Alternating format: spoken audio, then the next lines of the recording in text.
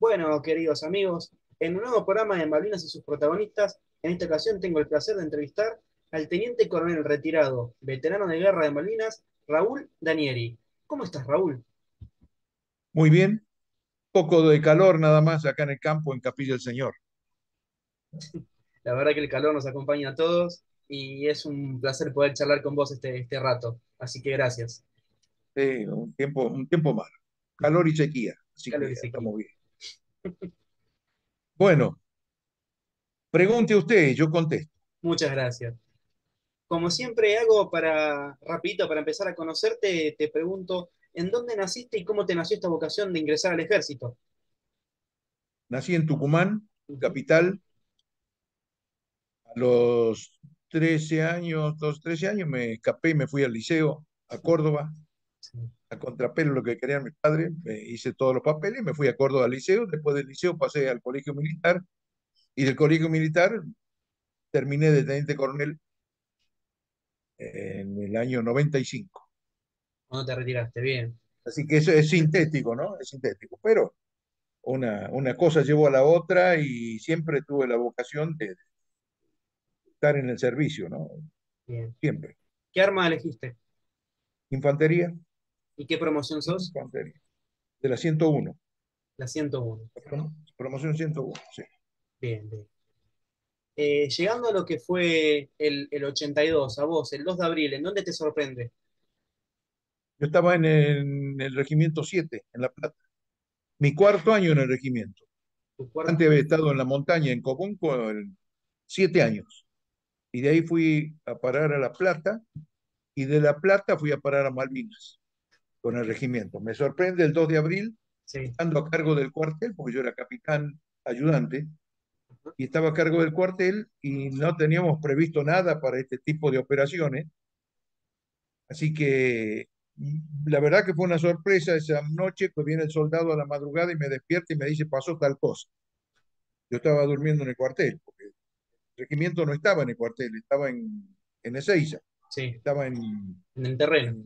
En, el terreno, habían salido a hacer el periodo básico de inclusión de la clase nueva. Ujú. Así que eh, fue toda una, una odisea podernos eh, eh, reestructurar siete veces, nos reestructuramos, y a la séptima vez fue la séptima fue la última. Eso terminamos el día 9, más o menos 9, 9 de abril, Sí. y el día 13 partimos a, martes 13 salimos para Malvinas. O sea que fueron unos días frenéticos. Fue una locura, una locura. Un cambio, el- lo peor de todo que no fue la clase 63 que estaba eh, recién incorporada, fue con nosotros la clase 62, por lo cual movilizamos a todo lo que se habían ido de baja, la, más de la mitad del regimiento estaba ya afuera. Y cuando fue la movilización, es, fue alrededor del día 8, Sí, más o menos, que se, que se concretó el, el horario, porque nadie sabía, todo era reservado, secreto, y lo único que sabía era el jefe, el segundo jefe y yo. Ujú.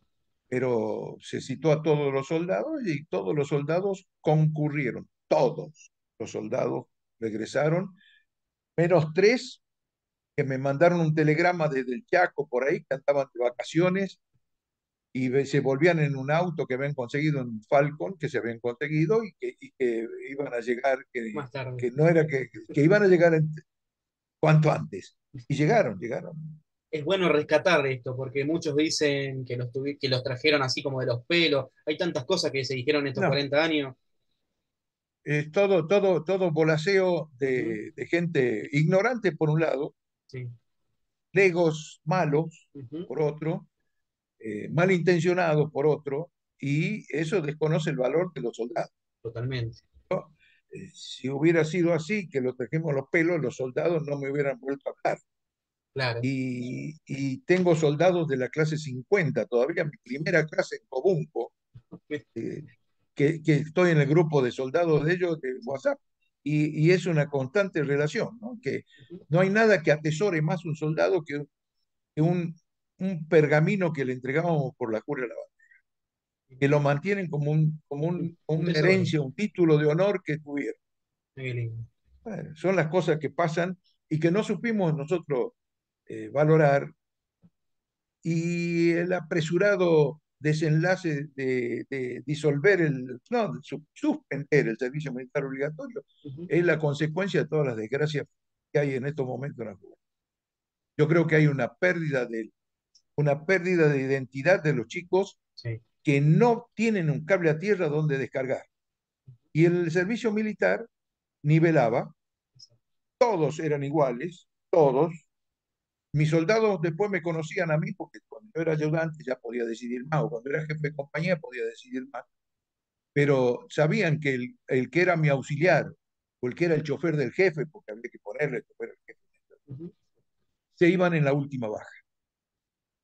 Sabían, porque se lo decía el primer día, muchachos, tal cosa, bien, ustedes se van a salvar de guardia, no van a hacer esto, no van a hacer aquello, pero no aparezcan acá con ningún problema para la baja, porque por principio a lo, último. Nunca tuve un problema. Por el contrario, nunca tuve un problema. Tengo soldados de Mar del Plata que me, que me escriben todavía que fueron asistentes, que estaban en eso y que se recuerdan. Tengo soldados más viejos de Cobún porque la clase más vieja, que es la clase 50, que fue mi primera clase, que todavía se acuerdan de la despedida en el Cerro Negro en Cobún. Uno hace, porque el, el, en realidad el, el, militar parece duro, parece un cuadrado, parece un obtuso, pero lo único que hace es defenderse del momento que tenga que tomar la decisión de mandar a alguno al muere. Lo único, porque uno tiene que hacer de tripas corazón y ponerse firme y, y, no dudar, porque si uno duda, sonó, se pierde todo. Entonces, en ese momento es el momento decisivo. No es que uno no lo quiera, que no tenga humanidad con el soldado, que uno lo desprecie. Mentira, todo eso es mentira. No he visto ningún problema, no he tenido nunca ningún problema con ningún soldado. Nunca. Excelente. Por el contrario. Bien. Y bueno, eso son las la experiencia de los años. Nosotros los viejos ya nos ponemos nostálgicos a veces y, y, a esta edad uno lagrimea enseguida cuando se acuerda de, buenas cosas. porque las cosas malas ya las sepultó. sepultó. Menos Malvina, que eso no se sepulta nunca. Exacto, bien. Y ya que mencionaste Malvinas, vos para el 82, ¿qué edad tenías? Era capitán y tenía 34 años. ¿Ya tenía familia? Sí, tenía mi mujer y tres hijos. Y cuando te llegó la, la orden primero de movilización hacia el sur y después a Malvinas, ¿vos pudiste comunicarles a ellos? Le dije a mi mujer esa tarde que subimos al colectivo. Me voy porque yo tenía todo mi equipo preparado, me voy con el jefe, salimos a tal hora y le, le dije, vino al cuartel y le dijimos chao y nos fuimos, porque salimos el martes a como a las 7 de la tarde, más o menos, en colectivo, de línea, de colectivo de mm, público, de, de, la ciudad de, de, La Plata, que nos facilitaron el transporte hasta el Palomar. En el Palomar hicimos retardo para que no salga el avión, que era el Tango 01, que para que no salga el avión hasta el día 14 a las 05. Entonces, nos pusimos lento a propósito. Para no volar queríamos salir martes 13. 13. Pero lo mismo, lo mismo fue un principio de una odisea muy, muy grave. ¿Cuál fue tu primer recuerdo al pisar las islas? La montaña de munición que había en el aeropuerto. Montañas de cajones, de misiles, de cajones de mina, de todo que habían desembarcado ya antes en los vuelos anteriores, porque el regimiento no es de la primera línea que llega a sino que es el día, eh, digamos, el 14, el 14 a la, a la madrugada. Y esa misma madrugada mm, le digo al, al, jefe que él iba, se iba al puesto comando en un camión que pasaba, porque no teníamos transporte para adentro, este, le digo, vea, mi coronel, le digo, viene lluvia. ¿Por qué? Porque yo miraba para el oeste, como los viejos montañeses, yo había estado tanto en la montaña, miraba para el oeste y veía que se venía, se venía, se venía desde el lado de Montelondo, que quedaba para el otro lado del aeropuerto, y ya se venía abajo. Le digo, va a llover. No, sí, va a llover, siento lo mismo que la Patagonia. Cuando viene de ese lado llueve, y capaz que nieve, pero no creo porque es febrero, eh, abril, todavía. Bueno, nos agarró la lluvia, Después hicimos una marcha desde el aeropuerto hasta el lugar de la posición, más o menos, que es 14 kilómetros, con viento en contra, mojados, garrotillo, que es el granizo finito como sal, eh, granizo y lluvia.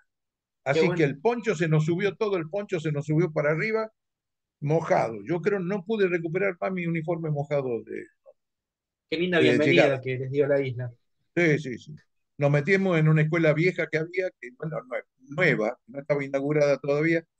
Hicimos noche ahí, comimos mal, porque no, no, las cocinas que habíamos mandado nosotros iban todo en el buque Formosa y el Formosa no había entrado a puerto todavía, entró más tarde. Muy bien, felicitaciones al, capitán del buque y a toda la gente que entró a pesar de todo lo que dijeron que le podía pasar. Se animaron y cruzaron. No así el de otro, el de otro transporte de Elma que, que, por el cual no llegó parte de la pista, no llegó parte de los lanzadores múltiples, no llegó parte de la artillería. Es así. Pero la guerra es la guerra, no, no se puede, no hay tiempo para, para solucionar lo que no estaba visto de, hace tiempo, ¿no? Es, muy rápido, es muy veloz todo, es muy veloz. Y después de repente, ¡pam! Se, se, se achancha y pasaron sesenta y pico de días en la posición. Eh, yo tenía el pozo de zorro con un soldado, soldado Sau, íntimo amigo en estos momentos, que era mi asistente compartíamos el pozo, hicimos un pozo doble y entonces teníamos, habíamos, él se encargaba de, desagotar el pozo con una latita de, conserva que tenía, que sacaba el agua para afuera y tiraba a la noche. Y ahí dormimos desde el primero de mayo casi todas las noches. Hasta que al último nos cansamos los dos, porque eh, tirábamos la pierna derecha o la pierna izquierda, porque estábamos frente a frente sentados, entonces no podíamos tirar las dos piernas hacia adelante. Entonces, bueno, nos cansamos y dijimos, vamos, a dormir a la carpa y que sea lo que Dios quiera, porque yo, que, pero eh, cerca al final, no, no, nos tiraban todas las noches, nos bombardeaban. Lo que estábamos un poquito más a, más a salvo era porque tiraban desde el sur. El cañoneo de los barcos se paseaban por la costa del sur. Entonces, al venir del sur, tiraban y pasaban por arriba de Tamredon y pegaban el faldeo de Monte London y Rayleigh Ridge, de Modi Brook. Eso no hacía que del otro lado del faldeo donde estábamos nosotros, los pasaran por encima. No, no, o, pegaban en el faldeo del otro lado o pasaban de largo.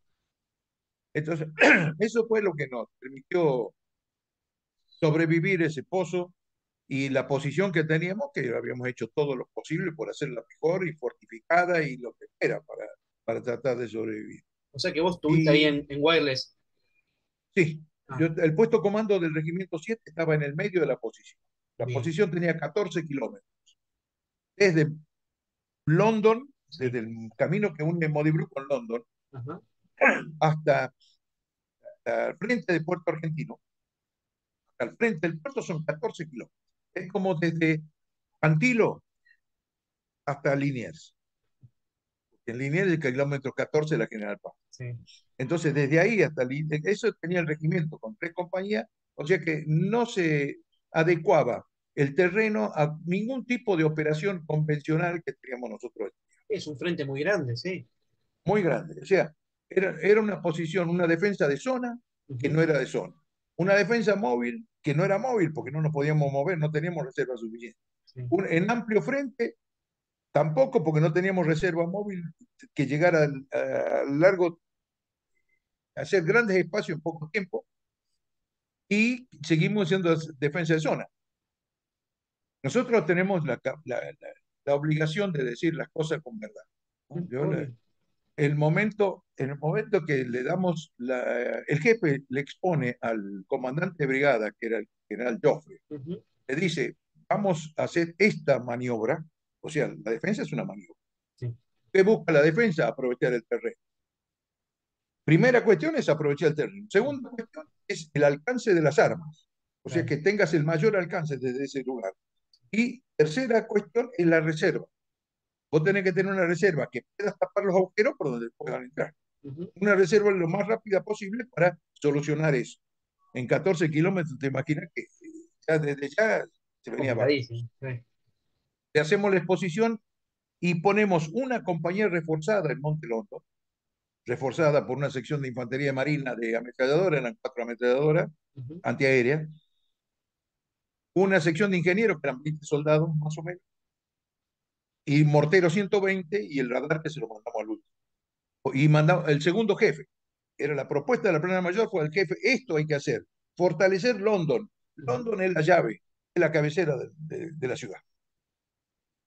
Al resto le poníamos menos, menos, y atrás de Monte London, nosotros propusimos que fuera la compañía C.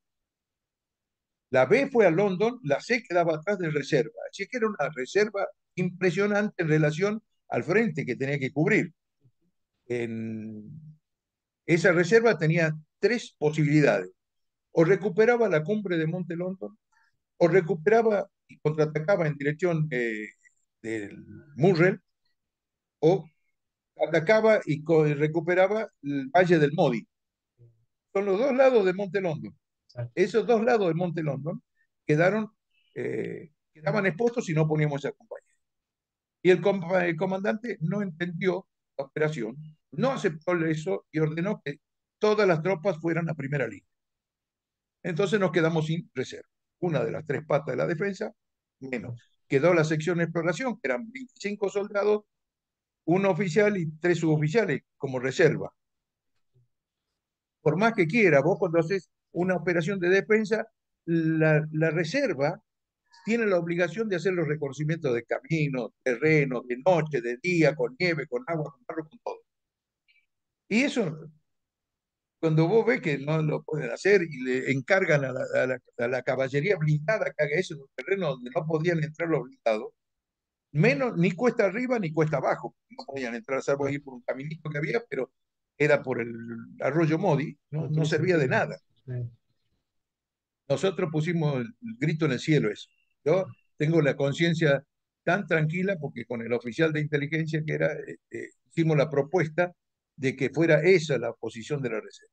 Y la segunda cuestión, que sí, se la dije yo ya más directamente al comandante, pero mire que usted me está diciendo acá en la orden que me da que defienda esto, ellos tienen cañones un light de 15 kilómetros de alcance y nosotros tenemos otro Melara que tiene 10 kilómetros 500.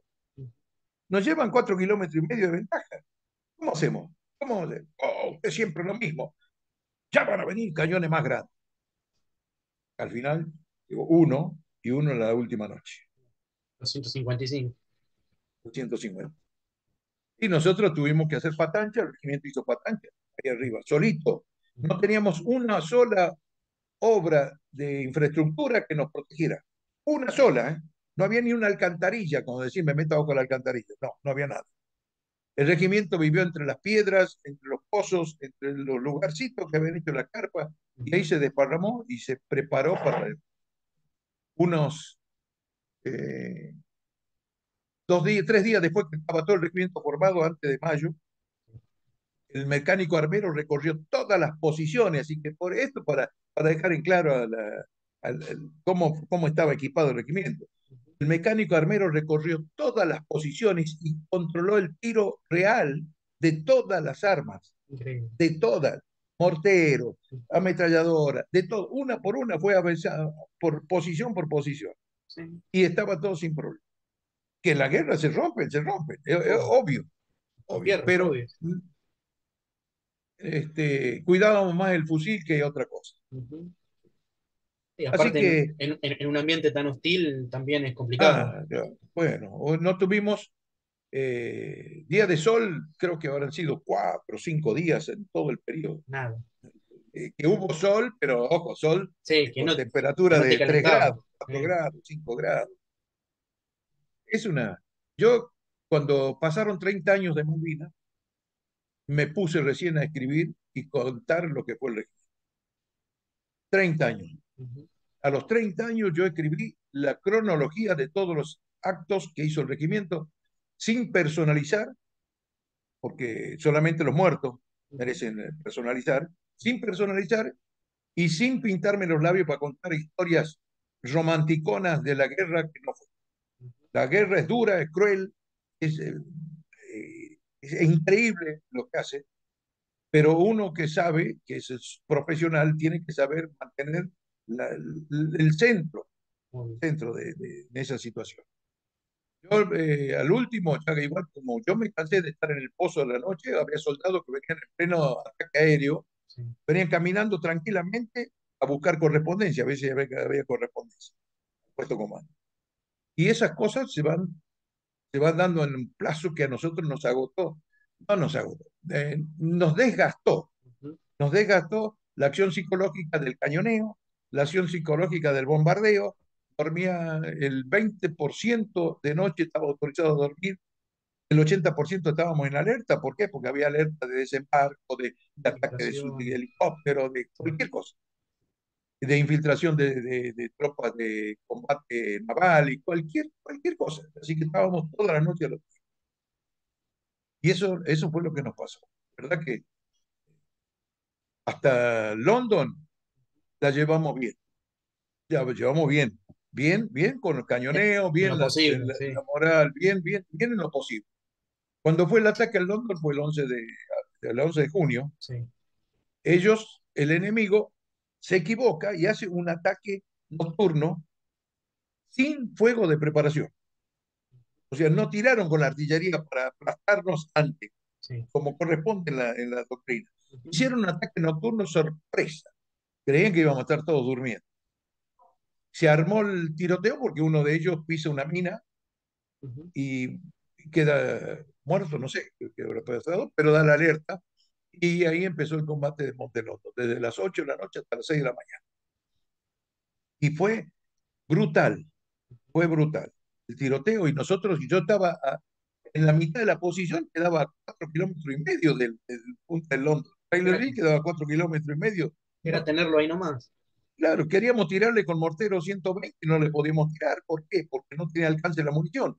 Tenía 4.500 metros de alcance la munición y íbamos a pegar la propia tropa.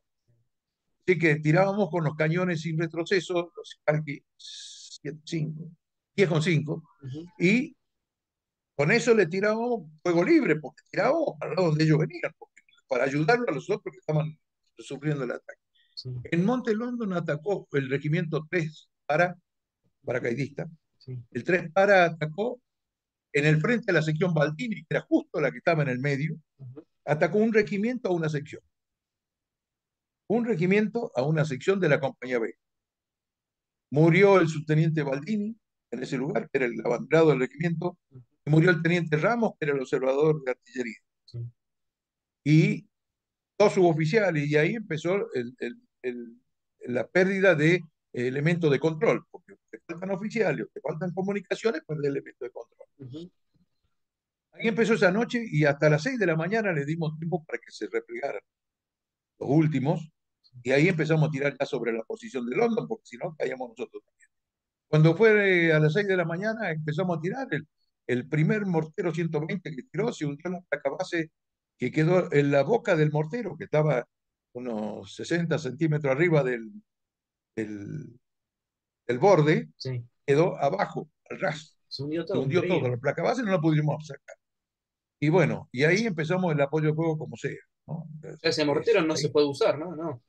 Sí, después no se pudo sacar, no se pudo sacar, no se pudo, se lo chupó la turba. para abajo y se quedó, quedó ahí. ahí. El Monte London recibió un ataque feroz por parte de un regimiento.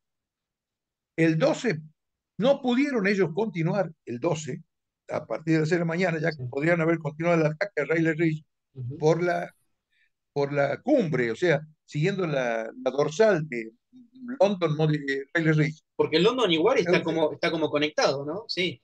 Claro, es una dorsal, es una dorsal montañosa, petiza, pero montañosa. no, no deja por eso ser montaña. Y ellos tenían planificado, después cuando vimos los mapas, tenían planificado a las 6 de la mañana en Trailer Ridge y no pudieron pasar del Londres. Eso implica el, en ese momento que, tuvieron. Que sale el día, que sale el sol, que, sale, que aclara un poco ese día, entre ese momento había la sección exploración solamente en el frente de ellos, parándolo. Una sección, una sección quedó en el medio, que era la, la reserva que teníamos. Teníamos Sí, ante la imposibilidad de mandarle otra reserva, le mandamos una reserva, una, una sección de la compañía C, que estaba a primera línea.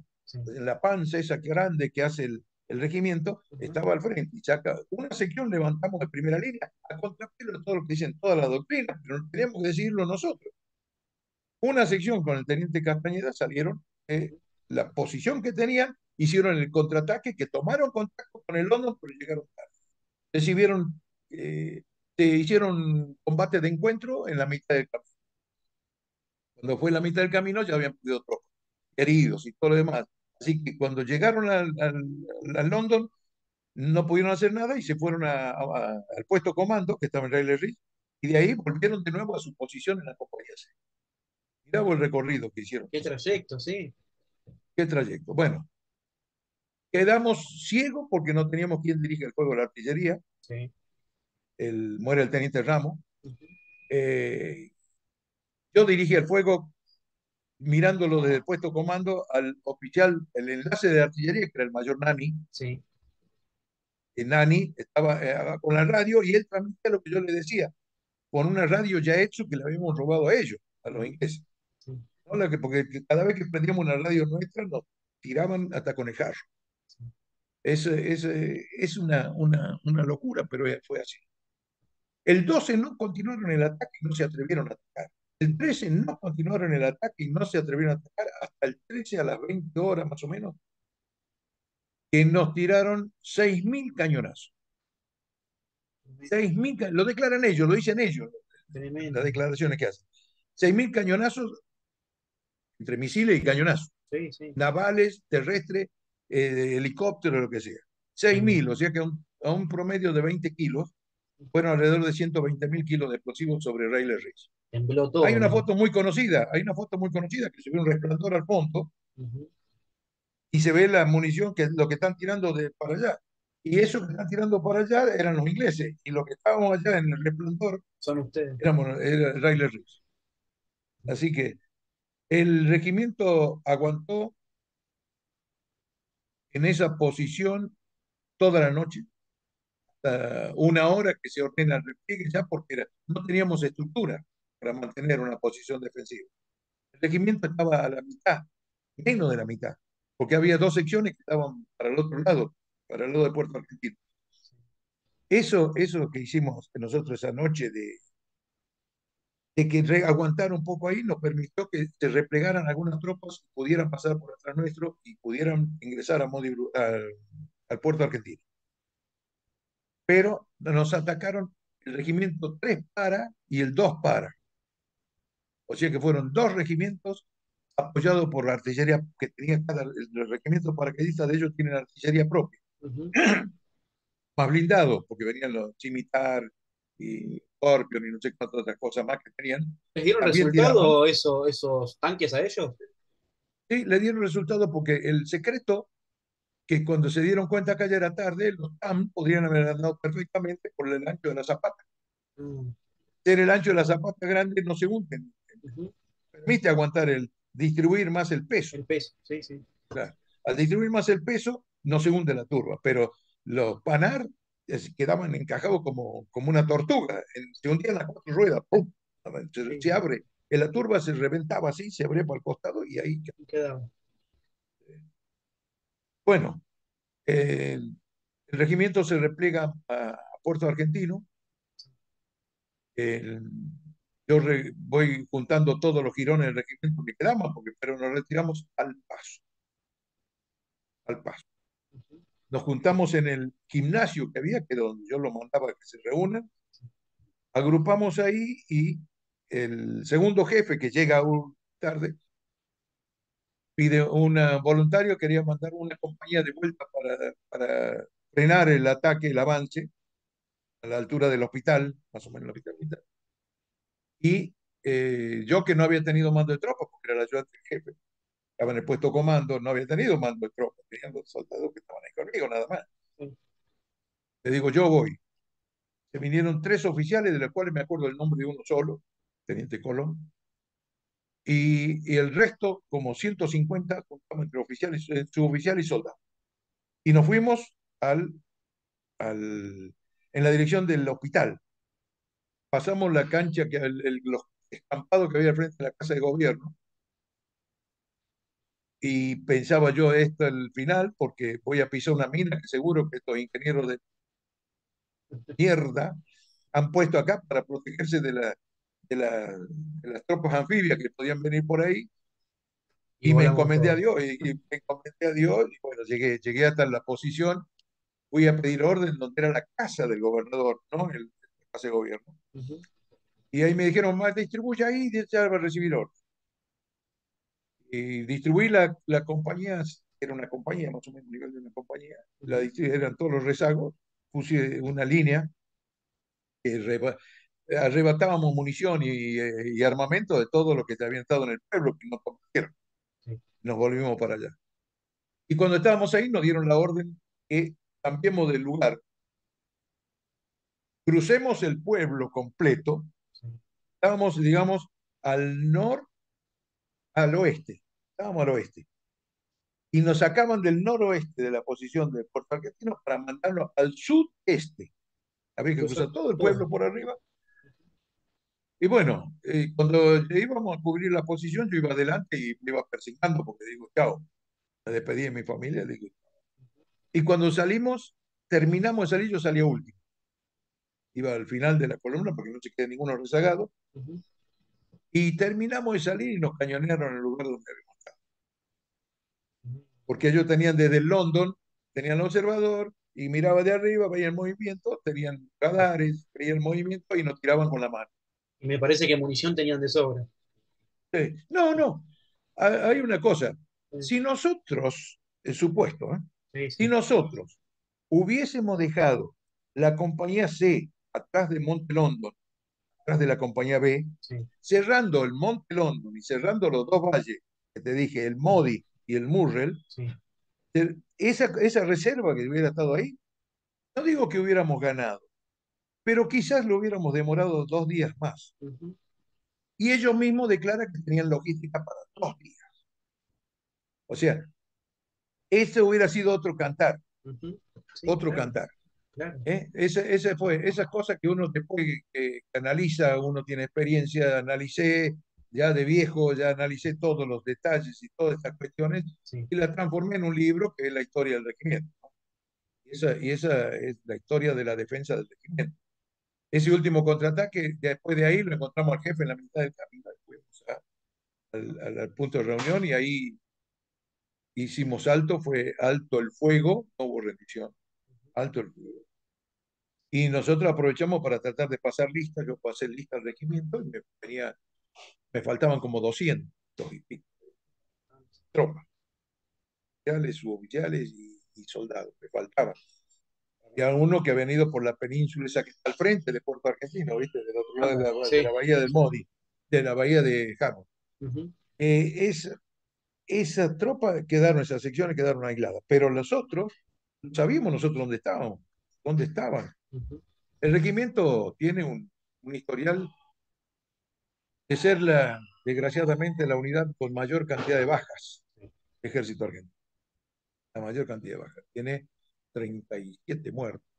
Dos oficiales, uno del regimiento, uno de la artillería, que estaba con nosotros. Dos suboficiales, 35 soldados, 36, y un soldado de la compañía ingeniera.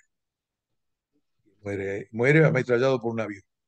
O sea que no nos dejaron de pasar cosas en tres días. Tres días fueron, 11, 12 y 13. Eso fue, fue, terrible. Pero eh, al término de eso terminamos, en, nos sacaron de ahí donde estábamos, que era el gimnasio, nos mandaron a un aserradero, carpintería gigante que había abandonada. Tuvimos ahí una noche, los soldados, los soldados que, que según algunos imbéciles nos odiaban, me trajeron de comida, porque yo hacía tres días que no comía. Me trajo el negro cisnero, me trajo una comida que se había peleado con los ingleses dentro de un contenedor. Era el único contenedor o el segundo contenedor que había en Puerto Argentino, que lo habían bajado el día anterior del Ibiza. Por eso tenían algo, tenían algo de... Era porque había de más, que, estaba guardado. tantas cosas que se dicen que estaba guardado y nunca lo mandaron al frente. No, no, eran los que habían bajado el día anterior y estaban ahí, cuando llegaron se peleaban medio a la piña con, con los ingleses para, para, Para llevarse los cigarrillos, Sí. para, para llevarse había alto el fuego, así que haría, haría todo ahí. Pero ahí- me- me Ahí todavía estaban armados ellos ustedes, ¿no? ¿Eh? Sí, sí, sí, ah. sí.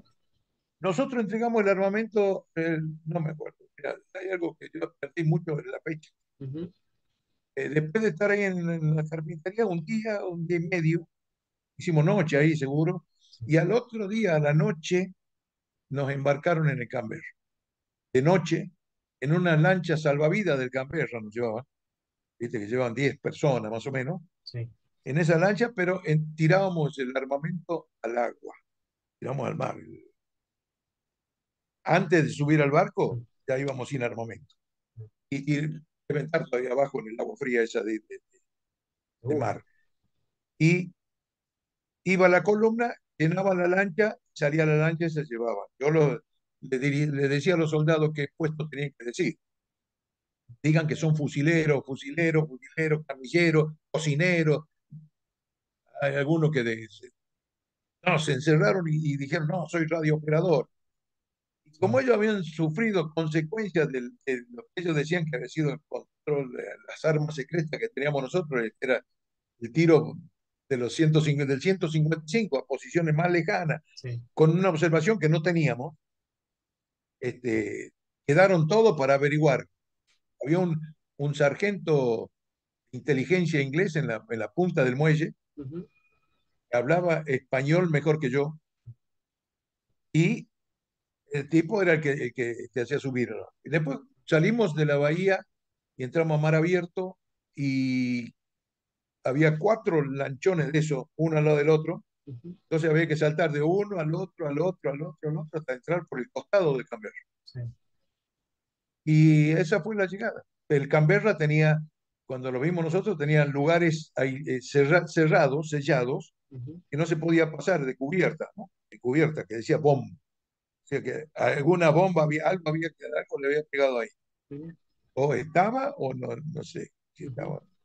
Esa, esa fue la, la cuestión. Y terminamos llegando a Puerto Madryn el día anterior al Día del Padre El 19. y pensamos que, que, que salió armado, formado, fue a, a- a- esperó que lo trasladaran en camión a, a, a Trelew. Ujú. En Trelew tomamos en avión, un avión Austral, y en avión llegamos a la madrugada el, del día ese del, del padre. La madrugada llegamos a Palomar A Panamá. eh, y habíamos pedido por teléfono, ya que teníamos, estábamos en el continente, habíamos pedido que nos preparen de nuevo una columna de colectivos para ir a buscar. Dijeron que sí, que todo, que la mandaban. Y cuando llegamos Palomar, no, nos esperaba la policía militar y fuimos prisioneros de guerra en Campo de Mayo. A la escuela Lemos, a Campo de Mayo, a la cual prometí que nunca más concurriría y no concurrí. Mira. Este, con centinela, con Ahí estamos, Raúl. el, después de la, de la salida de las escuelas suboficiales de Lemos, no en la Cabral, nosotros estuvimos en la Lemos. Salimos en una columna de colectivos también de la ciudad de La Plata que nos fueron a buscar. Después de dos días, casi dos días y medio, estábamos al borde del motín. Estábamos al borde del motín. Porque estábamos con centinela, no podíamos hablar por teléfono, no podíamos recibir visitas, no podía nadie vernos nada porque no sé por qué. Algún imbécil, como ocurre todas las cosas. Así que algún imbécil se asustó. Bueno, logramos ese- esa tarde, tardecita ya, y salir en el colectivo y llegamos a La Plata como a las once y media de la noche, más o menos. Desde Alpargatas hasta La Plata, eh, los- la columna de autos que nos seguían eran familiares. Los que nos siguen van todos al, al regimiento después, son familiares. El regimiento llegó, entró al regimiento, le opinamos al segundo, estaba a cargo del segundo jefe, porque el jefe estaba preso en San Carlos, y le dijimos, vea, no podemos tener esta tropa acá, hay que mandarla a la casa. Ujú. y que dijo, sí, ya. Entonces hicimos, a partir de ahí se, se mandó a las compañías, se cambiaron de civil porque tenían ropa civil. Y hicimos una formación, una formación la más triste de todas las formaciones, y, y ahí lo despedimos a los soldados, los que estaban, que eran 565, éramos el efectivo, uh -huh. 565 sobre 866, lo que estábamos en, en, de vuelta ahí. Y el segundo jefe nos echó a los oficiales, nos mandó a todos a la casa, que no quedáramos ninguno, y él se quedó eh, dándole a los, a los familiares de los soldados que sabíamos que teníamos información, que estaban muertos, que estaban desaparecidos, que estaban heridos. Uh -huh. De ahí fue toda una, una, odisea buscar todos los soldados heridos a lo largo de la costa atlántica, a ver dónde lo habían llevado, porque algunos salieron en avión, otros salieron en barco. De todos los soldados caídos del regimiento 7, hay uno solo enterrado en el continente. Soldado Pacholzuk, que está en, en, Mar del Plata. Él fue evacuado en el avión y falleció acá. Y, se... ah. y bueno, esa es la historia del regimiento. Una, una cosa que no se habla, que muchos no hablamos con, con nadie durante mucho tiempo, sí. nos quedamos para adentro todos y, y después empezaron las pequeñas relaciones de nuevo yo te, yo te recomiendo el día que quieras concurrir al Regimiento 7 en La Plata, que sería interesante que te lleves una camarita. Hay el 11 de junio, que es el, cuando empieza el ataque, porque en realidad fueron tres días de ataque, cuando empieza el ataque en Monte London, comienza la vigilia y la, la formación nocturna que hace el regimiento en recuerdo de todos los caídos en Malvinas. Esa una, una, una, formación impresionante. La cantidad de gente que va, la cantidad de familiares, ya van con los soldados con la suegra, los nietos y todo, porque ya son todos grandes, así que no pasaron 41 años prácticamente. Así que es una formación muy, muy, muy importante para entender y conocer el regimiento y el espíritu del regimiento. Un regimiento es una, una unidad, por eso se llama unidad, es una sola cosa. Y desde el primero al último siempre es una sola cosa. Lo que le pasa a uno le pasa a todos. Y más en campaña, lo que nos pasó le pasó a todos. Lamentablemente tuvimos la mayor cantidad de paja de, del ejército y no es como una justificación que demos nosotros, sino desgraciadamente eh, no pudimos mantener la posición. No es una excusa la cantidad de bajas, es una, una consecuencia.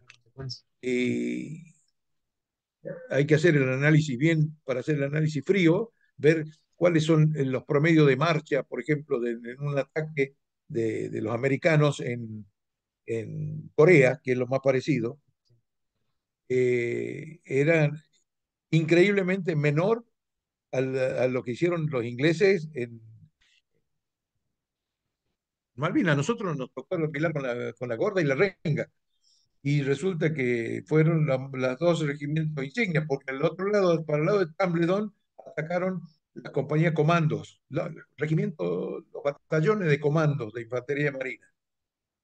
Esos fueron por el sur. Yo pienso que el horror de concepción del comando superior, de otro tema, viene de pensar que el desembarco va a ser como el de Normandía, por, el sur de Puerto por la zona sur. Sí por el sur de Puerto Argentino. Sí. Yo pienso, eso no, no, no, lo comento con nadie, pero lo pienso, eh, eh, que estaban creídos que por donde anduvo el submarino, el, San Juan y todo lo demás, no sé si de San Juan, que Santa Fe, no sé cuál era el que andaba, el que hizo el primer desembarco, el Santa Fe. y se adelantó un día a la... ¿eh? ese, ese, esa zona pensábamos que era, pero parece que era la peor zona para un desembarco, porque estaba todo con algas. Uh -huh había, había marcado en la cartografía, pero este, pienso que se, fueron, se engañaron solos, porque nosotros le transmitíamos toda la información posible de cómo venían y lo veíamos en los helicópteros y lo veíamos a, a los movimientos y recibíamos el fuego de artillería de campaña y eso ya no es poco, es mucha información. Pero eh, no tuvimos el, cambio de posición. Si lo hubieran sacado al regimiento 25 de Zaineldin, del aeropuerto. de donde estaba cuidando el aeropuerto, y lo mandaban al oeste, otro hubiera sido cantar. Pero no se hizo. Se sacaron compañías, el Escuadrón de Exploración de Caballería Blindado 10, que vino sin panar, o sea, fue infantería igual que nosotros, a hacer un contraataque para tratar de recuperar Riley Ridge y bajaron en la mitad de la pendiente, tuvieron que volverse porque recibían fuego de todos lados. La compañía, una compañía del 3, de un compañero mío que era jefe de compañía, este, que también cruzó el Modi y trató de subir a la cuesta para arriba y no hubo caso ya. No, y ese avance era para apoyar el, repliegue de ustedes, ¿no? Era recuperar la línea y no, podías recuperar ninguna línea, era imposible. De noche menos, sin reconocimiento. Sin, comunicaciones. Es imposible. Sin comunicaciones, porque de los tres elementos de control, comunicaciones, comando y el que es las comunicaciones y el control se hacen a través de la gente, los oficiales que pueden hacer control, y las comunicaciones mantienen el enlace. Pero nosotros no teníamos más enlace, no había más radio, no había más nada. Eh, el regimiento lo lleva como una, una, pesada mochila a los muertos que quedaron allí. ¿Por qué? Porque lo peor de la guerra no es morir, ni pasar hambre, ni estar en el barro, ni frío. Lo peor de la guerra es volver vivo. Tener que cargar la mochila de todo lo que quedaron allá. Y eso te están mirando acá arriba. Miran acá arriba. Cuidado lo que haces. Porque vos sabés que lo que vos dejaste allá. O sea que es una, una, una, una, una situación muy, muy, muy peleaguda, ¿no? Ya te digo, yo escribí este libro eh, de la forma más técnica posible, de La Plata Malvinas, de la forma más técnica. No sé si lo leíste. No. el Guimarra no te lo dio, no te lo dio el Willy. Ese tiene acobachado abajo la cama, de tener. Ese libro es una, una, una cronología de todo lo que pasó el regimiento. Día por día, con todos los detalles técnicos y comentarios que pueda haber, que se puedan hacer, sin contar historias zaparrastrosas, viste, de romanticona, contando lo que verdaderamente pasó, porque ahí está el valor del, el valor de lo que se vivió, el sacrificio, el valor del sacrificio. El resto nosotros somos un accidente, no estamos muertos porque no cayó la bomba que tiró el avión cerca nuestro. Un avión tiró una bomba a 150 metros al frente del puesto comando que dejó un, cráter que era una habitación gigante que dejó. Y no, y no nos pegó. Si no hubiera pegado todo, chao, se acababa antes todavía todo el asunto, pero no. Bueno, esa es un poco la enseñanza que nos queda para mí. ¿no? El Regimiento 7 ha cosido en, su, en, la corbata de su bandera un escudo más. Tiene seis escudos el Regimiento 7. Tiene más escudos que el Regimiento de Granaderos. Granaderos y el 7 tienen historias paralelas del regreso de la guerra. El Granadero que fue ignorado por Rivadavia y desplazado y disuelto. Nosotros que fuimos presos, prisioneros de guerra y después llegamos arrastrándonos a La Plata. Uno era Rivadavia, el que le hizo, le hizo, hizo el daño moral, y el otro fue Nicolaides, que hizo el daño moral a nosotros. Ahí, ahí, está lo que uno tiene que, entender. El regimiento 7 es el único regimiento, el único regimiento de todo el país que participó en todas las guerras y campañas habidas y por haber. En todas las guerras. Tiene no sé cuántas medallas, no sé cuántos. Los escudos son por campaña. Los escudos se dan por campaña. Por campaña campaña de los Andes, campaña del Alto Perú, campaña de Montevideo, tiene la campaña del Chaco, la campaña de Patagonia, tiene la campaña de los Andes, la campaña de, Perú, todo lo que vos busques, tiene todos los escudos. Y las medallas es igual, la cantidad que tiene. Y aparte tiene los, las tiras con los nombres de las batallas principales donde participó eh, en la, como galardón en la corbata de la, de la bandera. O sea que es una, una cosa muy, muy, muy interesante de saber. No hay otro regimiento que tenga la historia que tiene el regimiento 7. Él siempre, siempre bailó con la peor. Sí, en todas. El regimiento 7 eh, en Chacabuco sufrió mucho, en Chacabuco, Maipú, Lima, eh, en todos, en todas las toda la batalla de combate. Siempre dejó su, su, cuota de sangre. terminamos eh, esta, que era, pensábamos que iba a ser la última campaña de, de, la, el, el, cierre de la campaña de la independencia nacional era con la reconquista de Malvinas, porque si no, no hay, no hay nada, no hay, no, hay, no hay todavía independencia nacional, hay una parte del territorio que está ahí sigue, sigue usurpado, sí. Claro, entonces es, pensábamos nosotros que era el cierre de la campaña de San Martín, porque es el, el último combate que participa su regimiento de negros, se llamaba así en, en el Perú y en Chile y todo el regimiento de negros del general San Martín. Los libertos también eran, ¿no? Sí, sí, bueno, los libertos eran porque eran, eran los que se anotaban voluntariamente. Sí. Este, su nombre, el nombre de Coronel Conde es el nombre de, que le pone al jefe del regimiento, murió a los 37 años el, el, el coronel Conde, en Chayas, Chayas, al norte de Lima, en la segunda campaña de Arenales a la Sierra, consecuencia de una herida recibida en Talcahuano. Tres, dos años antes en Chile, después se chupó Talcahuano, pasó Cancha Rayada, después pasó Maipú. Y después, después de la campaña, y no se curó bien la herida este hombre, y murió de eso. Murió de eso, en medio de la campaña que iba subiendo de nuevo a la sierra. 37 años. Mirá lo que habían hecho con 37 años. Y bueno, no fueron chicos de la guerra, fueron soldados, fueron soldados instruidos, fue el armamento comprobado que tiraba. Si no hubiera tirado alguno, venía el jefe de compañía y decía, no me tira esto, no anda. Entonces, pero fue comprobado. ¿Comimos mal? Sí, yo bajé 14 kilos, creo al final. Pero más que todo, mucha deshidratación, porque había, no teníamos agua potable, no teníamos celulares, no teníamos este, wifi, no teníamos internet, no teníamos nada, teníamos los satélites de ellos por arriba. Y la información que los Estados Unidos les pasaba a ellos directamente como miembros de la OTAN. Entonces, ¿qué vamos a pelear? Les pasaron los misiles y la información. Bueno, nosotros lo único que tuvimos es el auxilio de algunos peruanos que el resto brilló por su ausencia.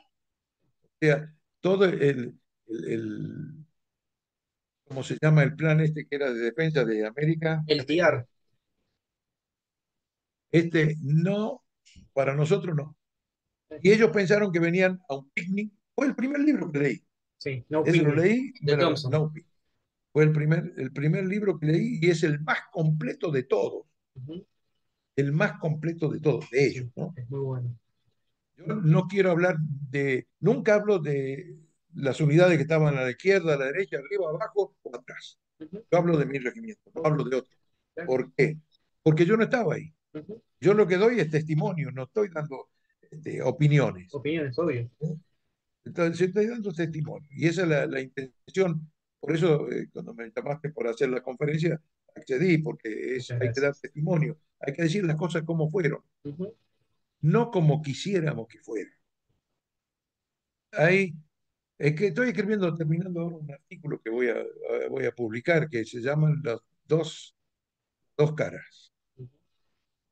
Porque hay dos caras de varias cosas. Vos te pones a pensar. La cara del regimiento granadero a su vuelta, que eran, eh, creo que eran 87, con Bogado, la vuelta del regimiento 7, también, sin jefe. Eh, tenés el desfile del 9 de julio del Bicentenario, cómo podría haber sido si ganábamos, o cómo podría haber sido, o cómo fue como no ganamos. Hay, hay, hay, hay cosas que para comparar, y ahí uno tiene el derecho a opinar, pero no opino sobre lo ocurrido porque ya es, ya es historia. La historia se estudia, se analiza se ve se aprende para ver cómo se hace, pero no se puede opinar, no se puede dar opiniones sueltas. Bueno, estimado. La verdad, Raúl, fue un placer. ¿Alguna pregunta, alguna duda? quedó algo? No, una única duda nomás. Además de ser, esto volviendo a lo que fue, además de ser jefe de, ayudante del jefe, también fuiste oficial de personal, ¿no? Sí. Ah, está bien. Era una duda que me quedó. El, ayudante, el ayudante siempre eh, asumía el cargo de, ah tenía la función de, de, personal, oficial de personal, de segundo. Perfecto. Pero la primera era el jefe, o sea, se convierte en jefe de la, de la plana mayor, del funcionamiento de la plana mayor. O sea que éramos tres oficiales que estábamos con el teléfono acá, teléfono, no radio, todo el día, en turno de ocho horas en el puesto de comando, para, para estar más o menos eh, enterado de lo que pasaba en los 14 kilómetros. Éramos tres, el capitán Grau, que ya murió, el capitán Ferreira, que está, vive en Salta, y yo soy el tercero en la antigüedad que queda, porque el jefe ya murió, el operaciones ya murió. Era Pérez Cometo, ¿no? Pérez Cometo, sí. Pérez Cometo. Y bueno, así es, así es la historia. La verdad no podemos pintarla de otro color. No, no, obvio, hay que contar las cosas como fueron. Y sinceramente te, te agradezco la sinceridad y como me dijiste vos de un principio, eh, la buena onda de, desde cuando te llamé para poder coordinar, pudimos hacerlo y fue, un placer. Bueno, ¿cómo vas a utilizar esto? ¿Cómo lo vas a utilizar? Claro, ahora en un par de días lo subo al canal de YouTube y yo te lo hago llegar eh. para que se pueda difundir. Bueno, bueno, yo para mandarle todo lo que tengo de escucha de Malvinero que tengo en mi grupo de Justamente está hecho para eso, para que se conozca la historia. Bueno, bueno, muchísimas gracias. Ha sido un gusto compartir y gracias por el respeto porque hay mucha gente que habla y no respeta. Muchas gracias. Y hay muchos que hablan porque escucharon, otros veteranos que contaron y quieren saber más de Malvinas que los veteranos. Exactamente. Y emiten opinión. Eso es lo peor. Es de hecho que ya pasaron. Bueno, un abrazo. Un abrazo fuerte y estamos en contacto. Gracias. Chao.